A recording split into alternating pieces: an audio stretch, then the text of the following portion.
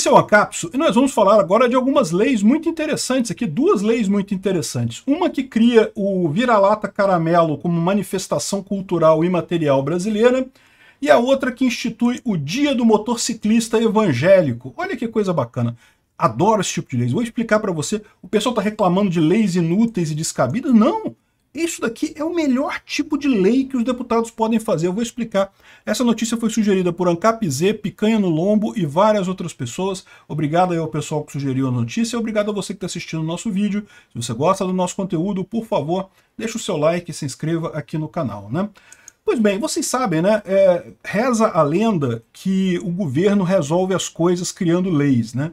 Mas vocês sabem a minha opinião sobre isso. Na verdade, não. Nada é resolvido criando lei. Não existe nenhum problema no mundo que seja resolvido com a criação de uma lei. Ao contrário, você só cria problemas novos no final das contas.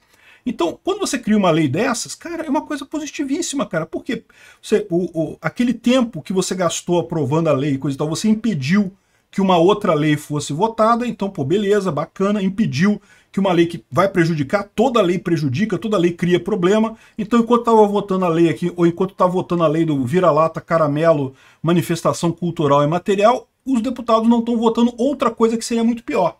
Então deixa quieto, fica com isso. É as melhores leis que tem, cara. É dar nome de rua para político, é dar medalha para político, é, essas coisas assim. Isso, excelente. Criar dia de não sei o que lá, não, vai ser dia 24 de fevereiro, vai ser dia de não sei o que lá. Pronto, beleza. Ok, quem se importa, né? É, ótimo, mas aí gastou tempo, evitou que fizesse alguma lei com o propósito de resolver um problema, mas que na verdade vai criar problema maior ainda. Então olha aqui, ó. o deputado uh, Felipe Beccari, do União de São Paulo, apresentou um projeto de lei que, vai, vai é, que a expressão vira-lata caramelo se torne uma manifestação cultural e material do Brasil. Né? Já é, pô. Pra que, que precisa de lei? É o que eu falo. Não precisa de lei para isso, já é, todo mundo já sabe, todo mundo já brinca do vira-lata caramelo e coisa e tal. É, mas, excelente, parabéns ao deputado Felipe Beccari. Eu acho que devia fazer isso com cada meme que surgir do Brasil. Tem que fazer um daquele meme do garotinho dançando com um cachorro, tem que fazer tudo quanto é meme que tiver no Brasil, tem que fazer uma lei, mas uma lei específica, só daquele meme. Né? Porque se fizer uma lei com uma, um monte de meme de uma vez, está desperdiçando.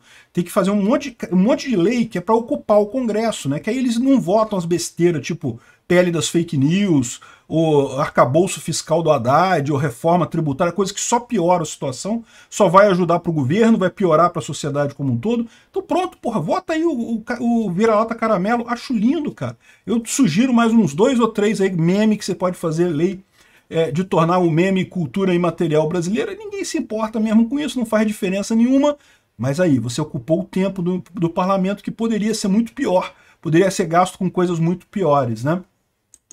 Aqui, ó. Essa outra aqui, ó. Dia do motorista evang... motociclista evangélico. Não, lindo, cara. A cidade parece que não gostou, o pessoal falou, não, leis inúteis e descabidas.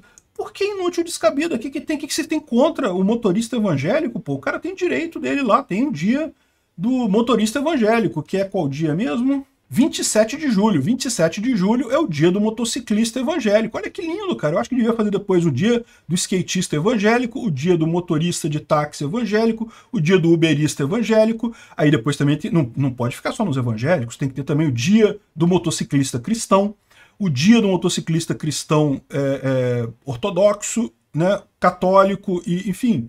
Eu acho que tem que ter todas as religiões representadas, cada uma com um dia, para ser igual. E cada uma tem que fazer uma lei para ter aquele dia daquele, é, aquele, daquela profissão específica, naquela religião específica. Achei lindo isso.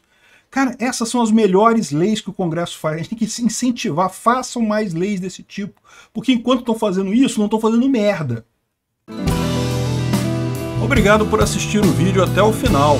Além de curtir, compartilhar e se inscrever no canal, considere se tornar patrocinador com valores a partir de R$ 1,99 clique no botão Seja Membro abaixo para saber as condições e vantagens de patrocinar o canal. Mais informações sobre o nosso projeto, visite nossos sites indicados na tela.